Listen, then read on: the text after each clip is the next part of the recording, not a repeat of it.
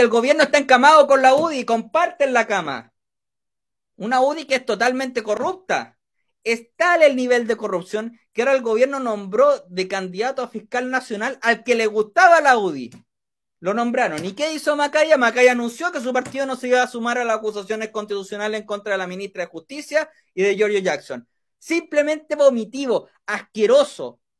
El gobierno puso tu candidato y tú en vez de cumplir tu, deber de oposición y fiscalizar por la chanchada que ha hecho Jackson y los indultos de Boristóteles, dices que no te vas a sumar a la acusación constitucional. Es que hay que ser simplemente miserable, miserable.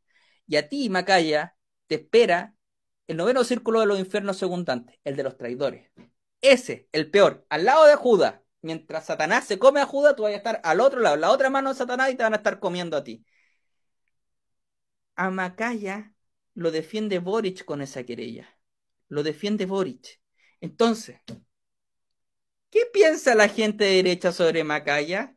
Que un vendido, que un vendido. No tienen ni sentido de supervivencia en la UDI para andarles copiando de esa manera a sus votantes, que hay que ser idiota para decir, oye, votante, mira, me meo en ti, vuelve a, a votar.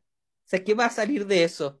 Hombres, la siguiente elección la van a perder. En realidad, ustedes, la UDI, son una secta. Se alimentan entre ustedes mismos. Macaya, Javier Macaya, no tiene capacidad de análisis.